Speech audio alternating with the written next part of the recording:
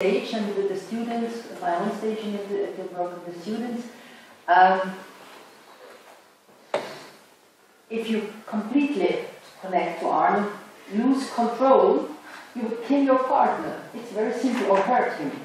On the other side, you have, as in the play with a ball, you have, if somebody is immediately throwing a ball to you, you have to, to, to, to, uh, to get it and not to ignore it because, because out of rules.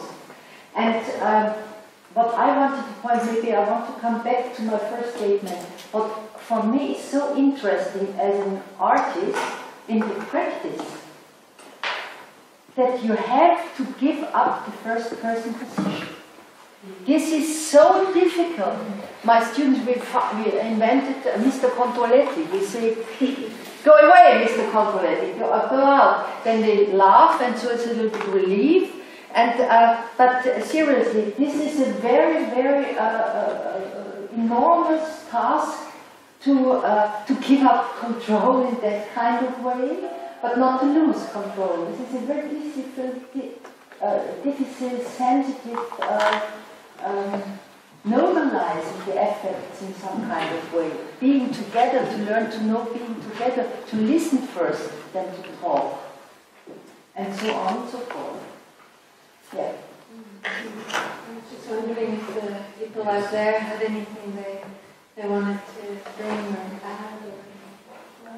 I have a question with the first person's position, which is also a term in phenomenology, and you have the difference between situatedness and the position of the first person. Uh, and it's, it's a question, for me, it linked also with what you said this morning about identification. So um, I have a lot of questions. um, I try to, well, at the same time, you have to be yourself, I think. As an artist, you have to be yourself. And this is a first person situation. You're anchored in, in a certain way with it, what is happening around you. And I totally understand it can not be that you put yourself on stage. So I just want, I just wanted to listen a little bit more what you really mean with this first person position um, that you have to do.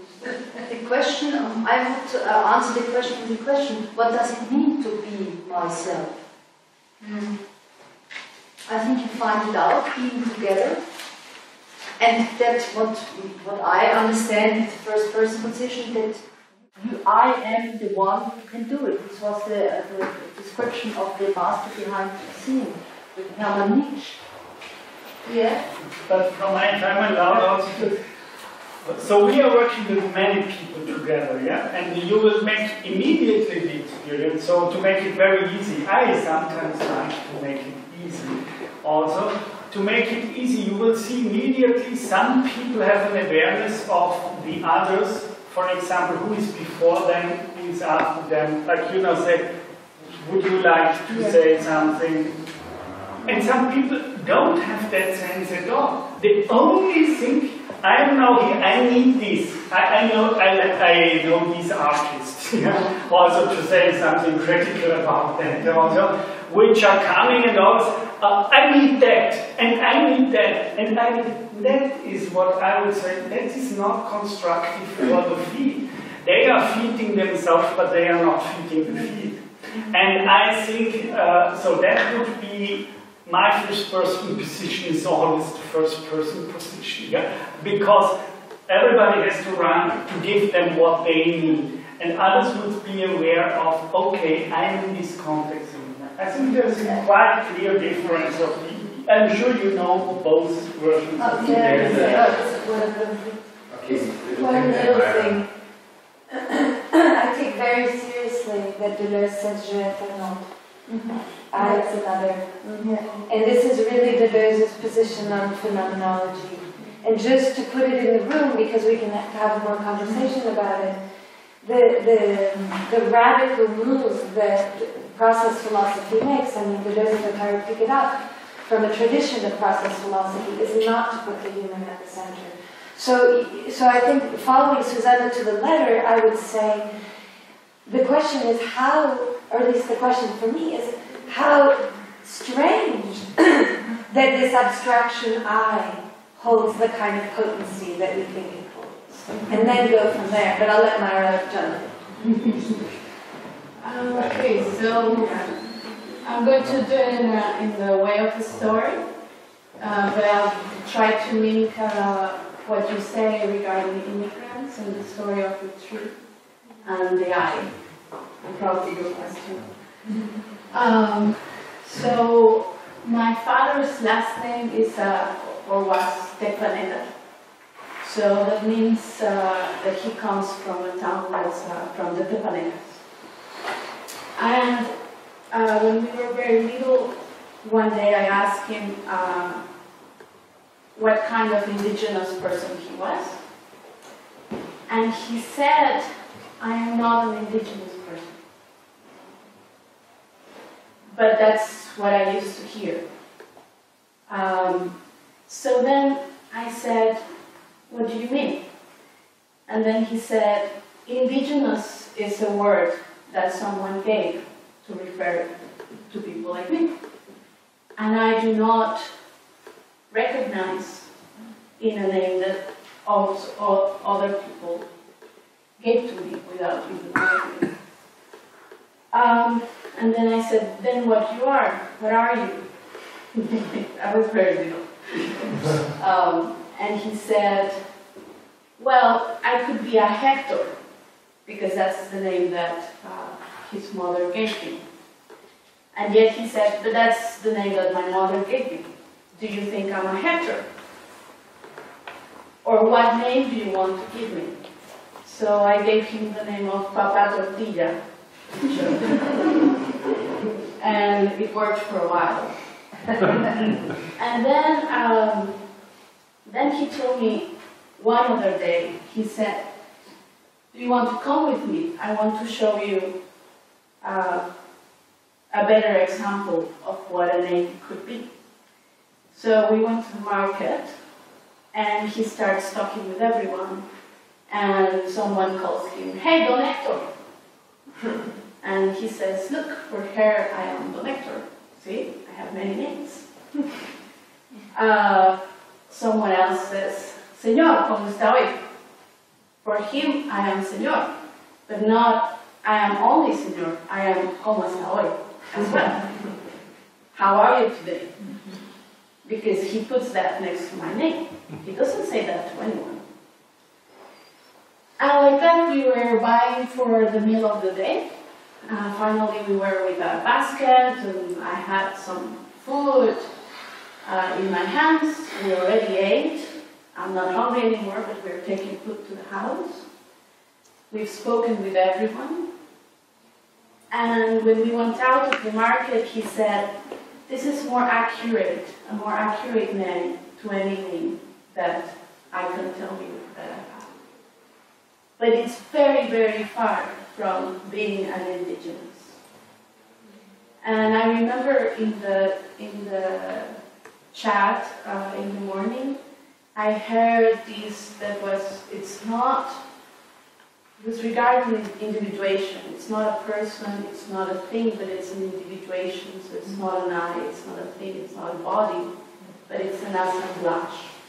I think it was in the, in the video, an assemblage.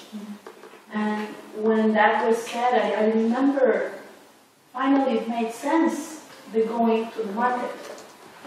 And he trying to explain me that he was more than these names or these I and this necessity to be recognized. And it's very connected to, the, to a different necessity, which is the necessity of how to become imperceptible, which I think is also a topic within the conference. And it's very curious that this imperceptibility at the same time is so connected with the force of the caught and the schism. Because it's this thing that you don't know it's there, and suddenly changes everything. You know, the, the sound of the fridge. You don't know, but suddenly already pulled you into this other event. And three or four minutes later, you say, ah, something changed. So there's something about of how to become imperceptible while this imperceptibility carries a lot of force for uh, shifting of people. There were some other hands up, no? Alfonso? I won't shoot you. Thank you, I wanted the story. And I, I think it's, what then strikes me in, in this Benjamin Verdonck figuration, I don't want to call him an, artist anymore because he, he co-emerges with all people he invites for coffee and tea. He exists in the fabulation line. What also strikes me as, as something else than the activism is that um, also as far as the first person position is concerned, um, and efter l'autre, um, is in traditional activism. So let's make it a kind of uh, concept from it that we will know as those people um, mani- manifesting, uh, demonstrating on the street with these pamphlets like we want change, carrying around those, those billboards like change now, and all these imperatives like eat this or don't eat this or join us By now. by now. Yeah, it, it kind of reduplicates a discourse of positioning a we versus the evil them. And I don't think that this is at work about the co-created, the co-emerging I, what we were talking about. And this is what I like about Benjamin Verdonck's constellation there in that treehouse. It was this co-emerging I, and he didn't have the hubris of saying, I know the solution to the problem. He didn't have the, maybe not the guts, yes, he had the guts because he was very brave, I think, but I don't think he was profiling him from a position of a, a subject who knows. Mm-hmm. No, he said, let's share, let's co-create. And what he was actually working towards was like, we will not work. I'm just pointing at the complexity of the debate here. And I think this is how it works in a contemporary way of activism, that it's no longer a way of reduplicating this imperative discourse where you have to do things, where it's no longer about a positioning of a we versus an evil them, because we are not only that person there manifesting in a uh, what we think ecology should be, because in that way we are all hypocrites. I'm using a computer that may be produced by children. Apple, I don't know. We are all hypocrites if we think that we are on the right side. No, we're not. We're in a very, very strange, bizarre constellation of this person. So I think it's much more complicated than that. And I think, yeah, I think this activism moves towards a kind of Benjamin Verdonck, who does not know the solution, and I think this moves from moralism to ethics, and the ethics that is being discussed by Guattari in the ecologies, where ecology is connected with social relations and other ways of subjectivity, and where it's about relating in a different way in order to relate anew, where it's about, yeah, And at the same time, he, he says in uh, remake social practices, it's not a function and exercise, but it is something that needs to be every day and and to see other forms of sociality, but not eclipsing yeah, that level. yeah, it's, yeah. I, I think that um, I'm still very curious, being very quiet. Um, to come back again to your question, because I took it seriously. I, it wasn't flip my response at all. It's a, it's a key question for me. I work with people who are not considered human most of the time. To work with autistics is to work with people who are excluded, excluded from education, excluded from, from most um, ways that we understand being human to, to, to. Uh, What, what I would say is that I'm interested in, in a certain kind of capacity, a training in a way, to, to, to be equal to the conditions as they emerge at different degrees of engagement, at different degrees of encounter. Not all my film, but both and. There are definitely moments where the first person identity is put upon you. If you're a black man walking in a big city or a small city in the US, you can be sure that you have an identity. And it is chosen for you again and again and again, whether you like it or not. So I'm not saying that that doesn't happen, just like Myra's father being spoken of as indigenous, or Myra being spoken of as indigenous for that matter, or any of us being spoken of. What I'm curious about is, are what, what are the conditions under which what is probably more the experience of being in the world is present, which is one of, of much less definition, of much more movement. And I think that under those conditions, although I totally understand what you're saying, I would have to be, I would have to say that there are moments for marching.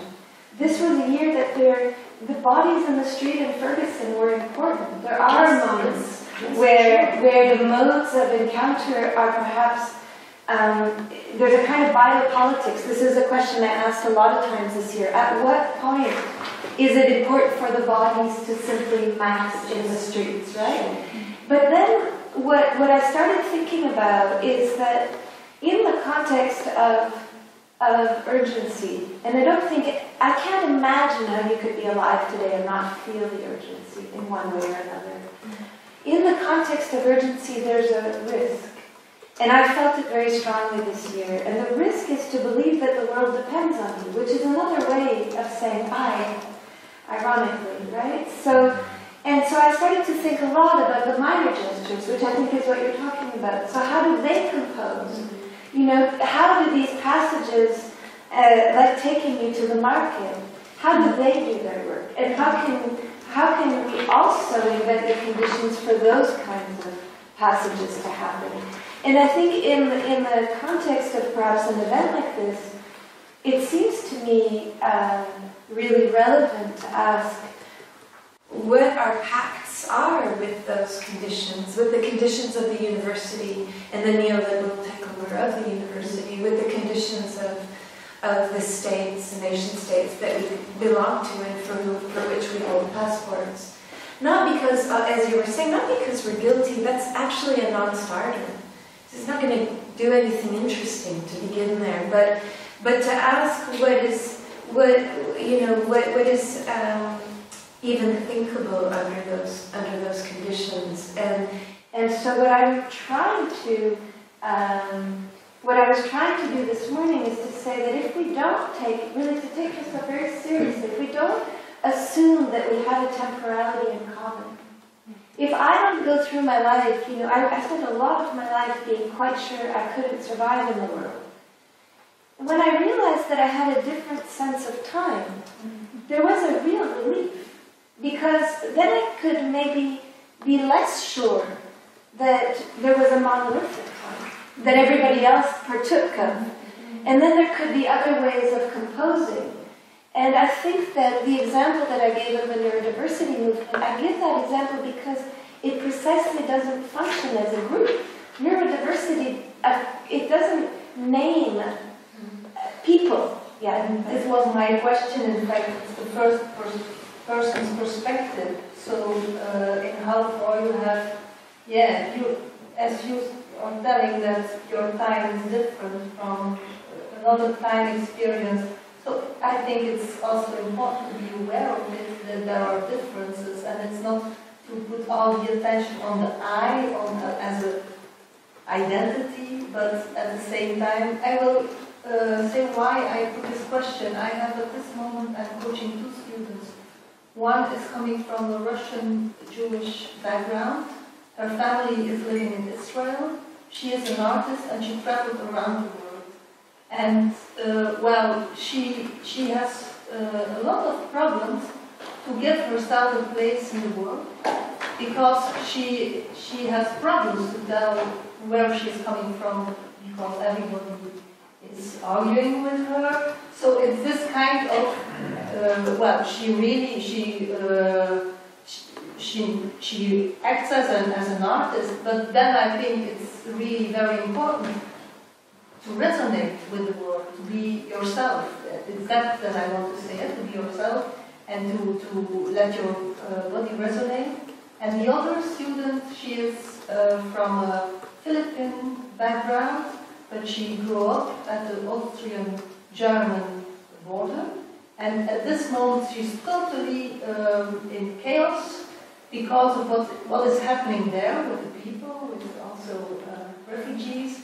So those are very, um, well, um, to the floor um, um, moments of people who are very creative, those are two very intelligent and creative uh, people. But just saying, well, you have to, to deal with the others and you have to, to go into the flow or something, it doesn't help them. I think. It's very, and this is, this is the background of my question, where, where is this bodily resonance or, uh, that's, Uh, as far as I can understand, uh, there are several levels here coming together, a lot, so, political levels, social levels, and I was pointing out the moment of being on stage as an, for artist and what happens there. This was, this was what I was focused on. And there I tell you out of my experience, it's really important to learn to know that I, I, my I, as I understand me as a first person position, has to step backwards in some kind. I don't lose it. Sure, I have to find out maybe on the long run, as Nietzsche said, wie man wird, was man ist. Nobody becomes what one is. Yes. So, so Uh, I would, so- I would like to add several, several things. So I'm, from my training and everything, and also maybe from my heart, I'm philosopher. yeah. So I don't believe in any activism that is not also creating, to, to use the, the term, that is creating new content. That is create. So if there is something coming out of control, like Austria now, you know, one of the really country where all the refugees going through. So it's the first time in my life after the Second World War there, where the borders are really, they are, they are no more under control. Really, it's the first time. It's under, it's simply not under control. We have 8,000, 10,000 people every day coming, and so even even the, the police, nobody. So they help now, really a certain way, because they have lost control. And it's the first time in my life that that happened with the country I'm living. Yeah. So that is one thing. I don't believe if we if we bring it back also to the Deleuze to the discussion, you know, it's not. I think to create a picture of a philosopher in a certain way, or women philosopher, who part of the philosophy picture is that you have to be a kind of activist. That's fine with me. Yeah? So that we change the, the image of philosophy and of doing philosophy and of thinking. But it will not work without doing and creating an image of self. It will simply not work.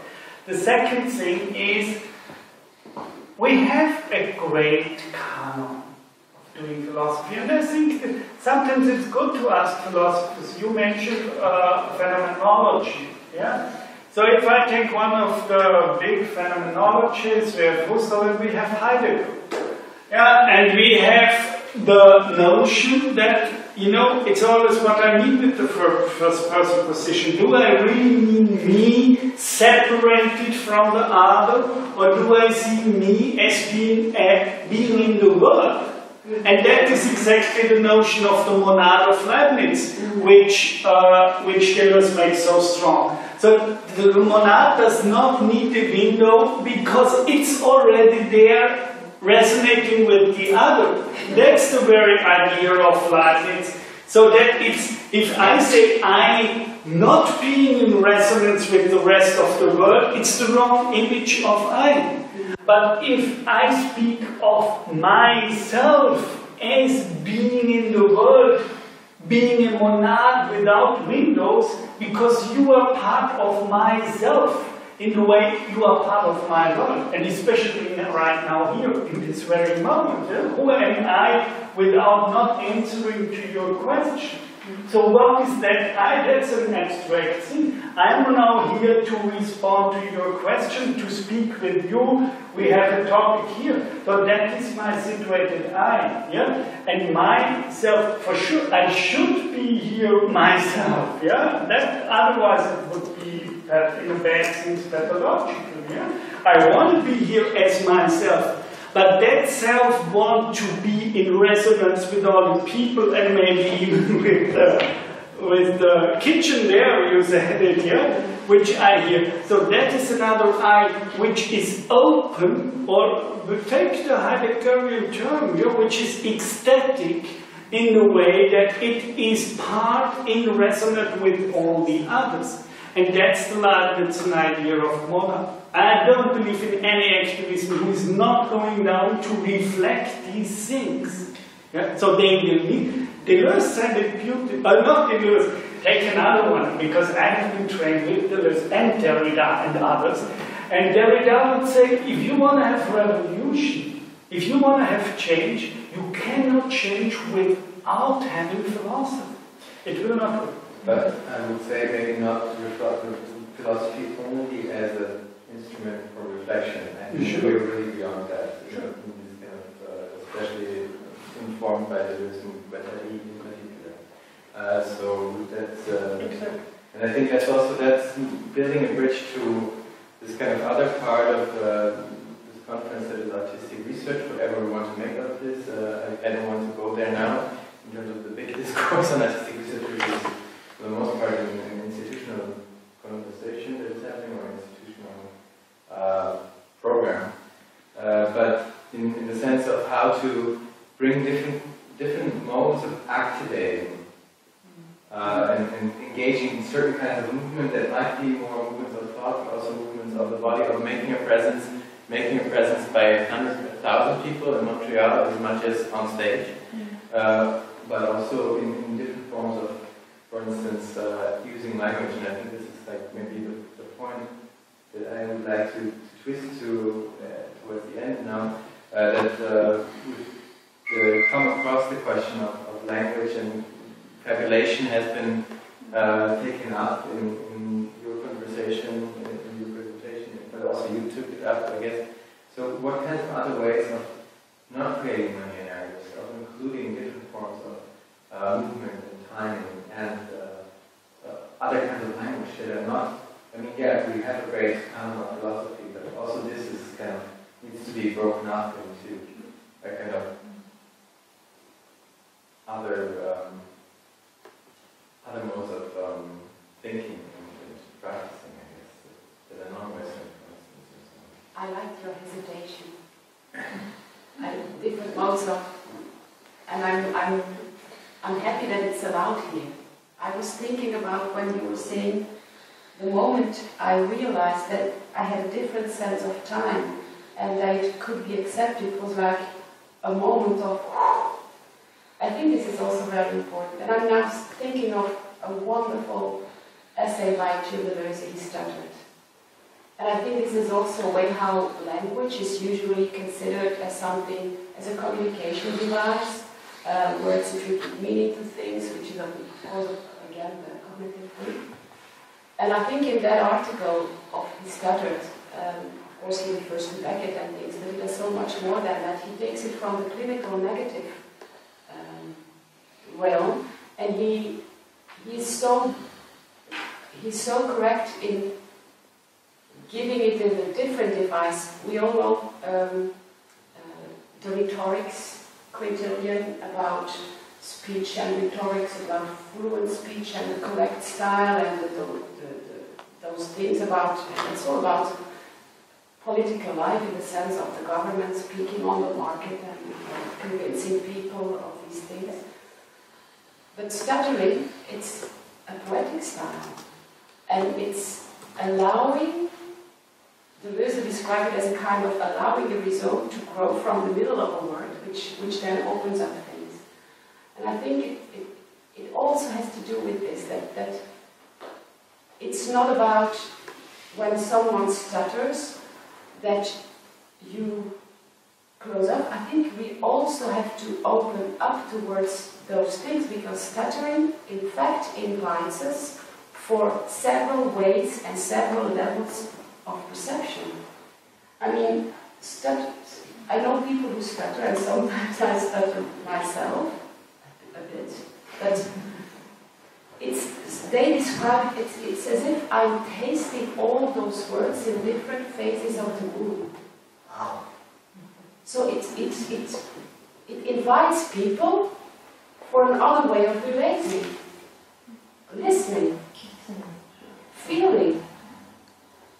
It's opening up for time and, and language. And, Yeah, I mean, this example for me, it brings forth also like the, kind of opacity that comes. We, we expect language to be about communication and transparency, that the, words are transparent to, to the intention we want to convey.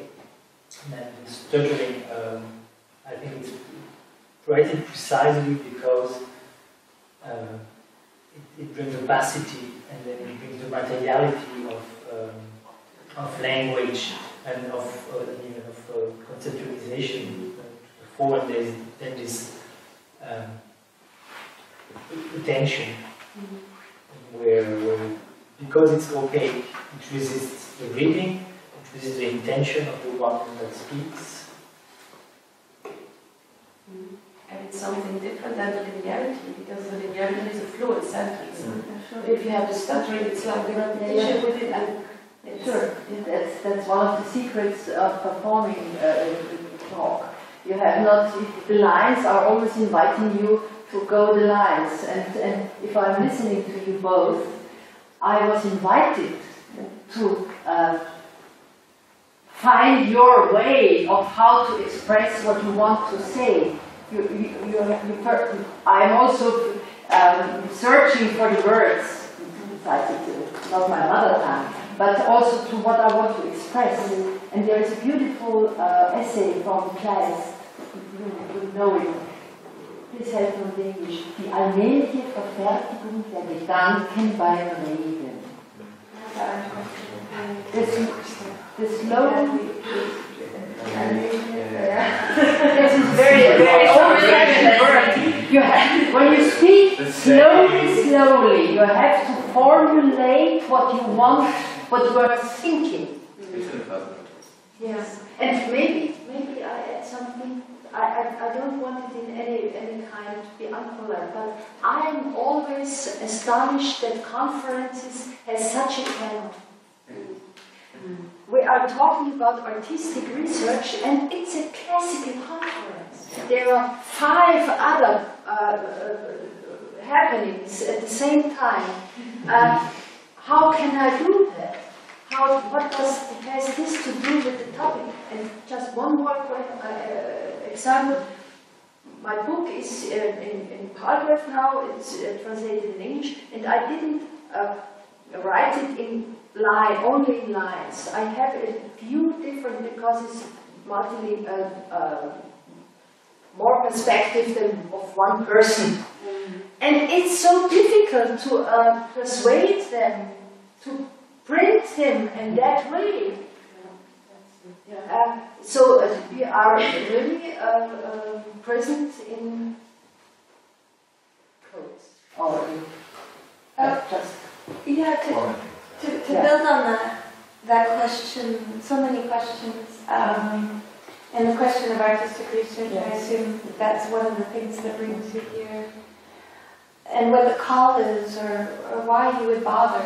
I mean, it's, a, it's, it's, it is a really weird thing if you think about it, that you would go to a university to be an artist. I mean, I hope everybody understands the contradiction, because it's a bit odd, right? Um, and but the stuttering, I think, is important, and what you were both saying. And I think I, I you know, still uh, sort of possessed by this question of the, these inheritances you speak of. The, the problem with inheritance is that it does matter. Of course it matters. Of course it matters. How you feel, where you're from, who your family was, under what conditions you grew up, who you're studying with, who your influences are, and so on. But what we know is that those questions don't necessarily take us somewhere interesting if we stay there. I think we do know that. We have at least 100 years and probably way more than 100 years that shows us that they're dead ends. Because if we begin there, we can only see what the other isn't, really. And even two people with exactly the same background are not going to be eye to eye on the question of what their is. So it's more interesting to me, maybe to go back to Julien's concept of the score, to think, what are these scores? Because the scores are complex. Yes, maybe they have an inheritance that is national in some way or binational, but maybe the score also includes going to the market, and maybe the score also includes liking chocolate and hating tomatoes or whatever. And uh, and so I think as an artist, I would say that we run a great risk when we, and as philosophers, both i- as our descent philosophers, and whatever else we are, we, under, we run a great risk of becoming limited in our capacity to invent new ways of thinking, to invent new concepts.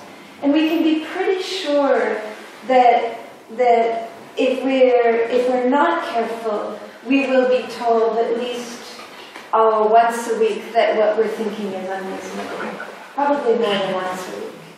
Um, we'll be told as artists that our ideas are too grand or too small or too uninteresting or not market driven or impossible or can't be funded. As philosophers, we'll be told this is not the week for Deleuze, this is the week for Kant, or this is the month of Benjamin, and we'll be told this.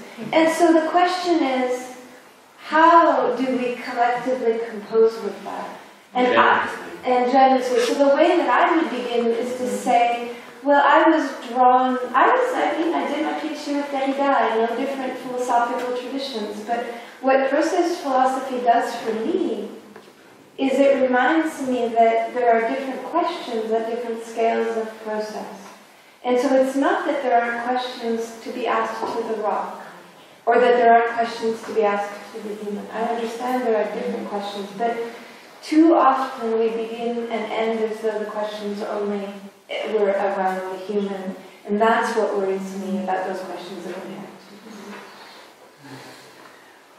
I think for me, you know, if you look from where the notion or the concept of artistic research is coming, it is really very problematic.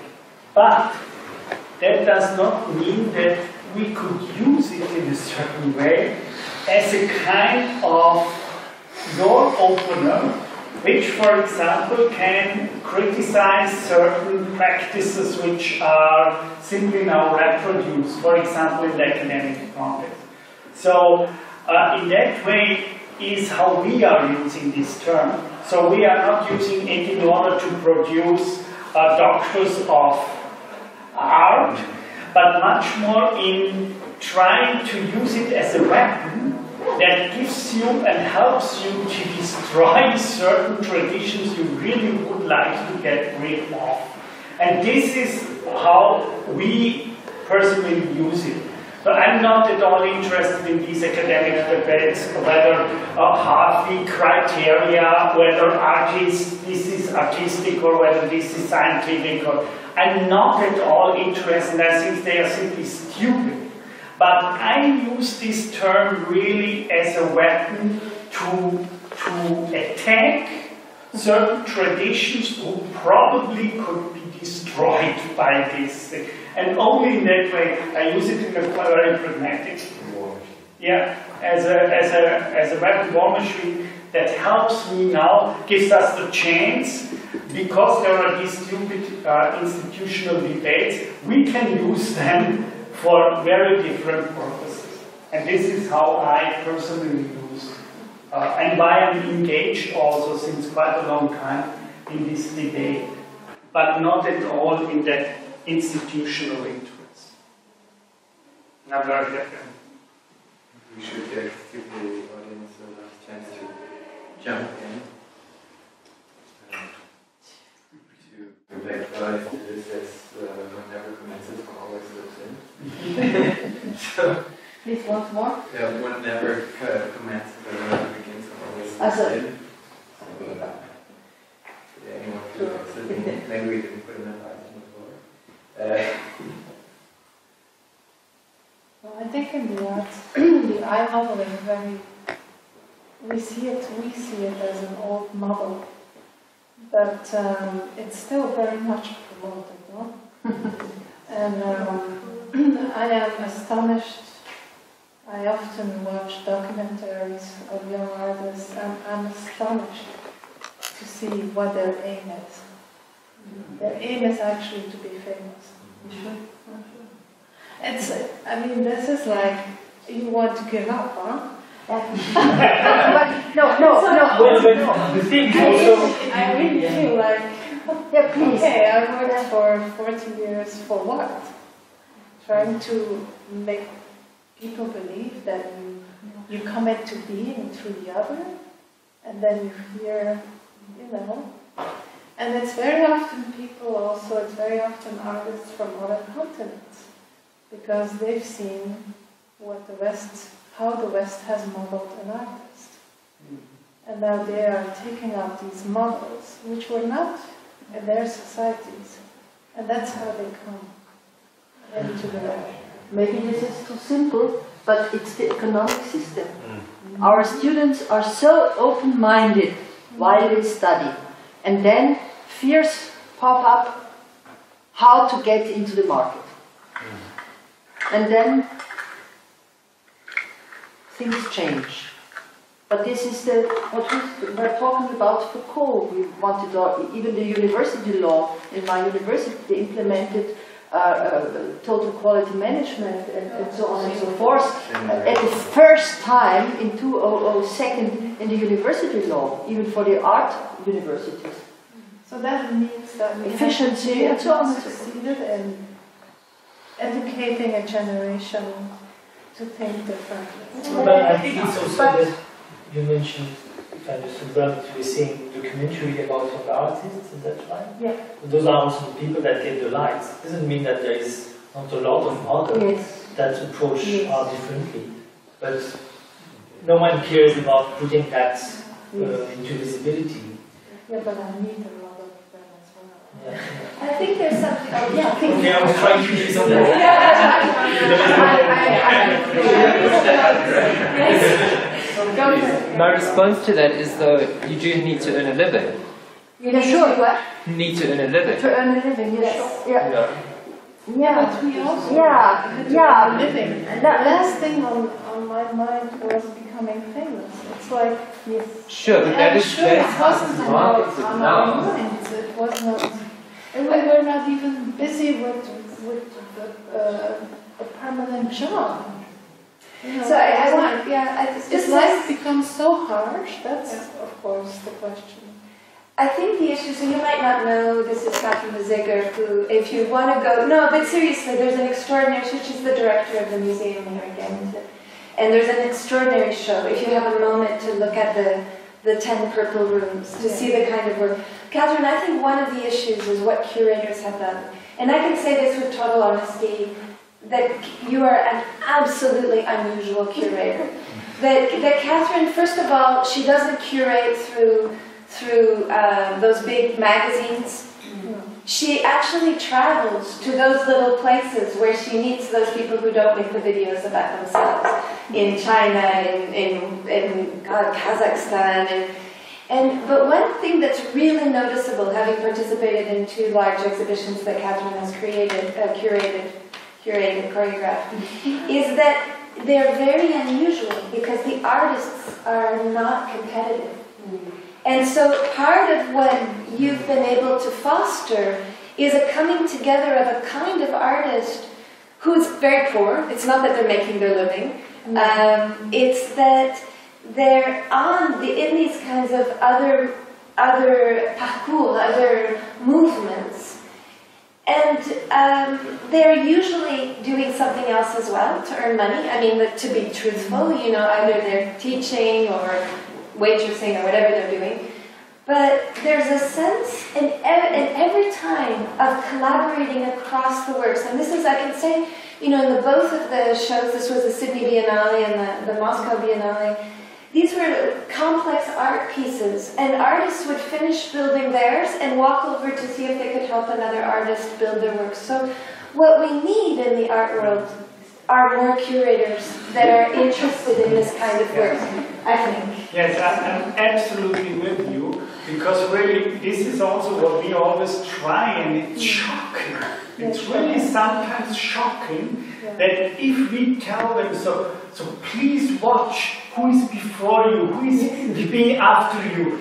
Maybe you want to change, come in contact with them. Yeah, yes, nice idea, but when it comes up to the real thing where they are doing, you know, it's so deeply culturally Yeah. implemented into them. In the And bodies. it's really, yes, it's really in the bodies, and it's really shocking sometimes uh, what is going on here. But you need a lot of conversations before. Yeah, I spend all my time in Yeah. conversations and telling them, you will not be alone.